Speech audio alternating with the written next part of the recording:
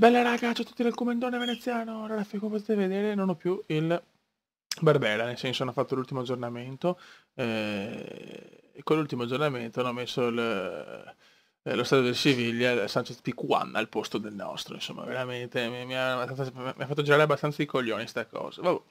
Comunque siamo qua perché dopo le grandi vittorie con la Master voglio capire cosa fare ragazzi, le squadre che mi hanno offerto una panchina sono queste che onestamente non mi sembrano proprio squadre meravigliose.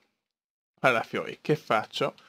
L'unica squadra che mi ispira, tra virgolette, è River Plate, nel senso di tentare l'avventura in Sud America, però sono sincero, non sono molto gasato e voglio stare al Palermo, non lo so, quello che è in Champions, però sono un po' indeciso se continuare la carriera con il Palermo o cominciare un diventa un mito. Cioè di cominciarla di nuovo in maniera più seria, non lo so, sono un po' indeciso, aspetto commenti da voi e io le vorrei fare in, um, in live, il problema dei live è che d'estate mi è un po' più difficile farli rispetto all'inverno.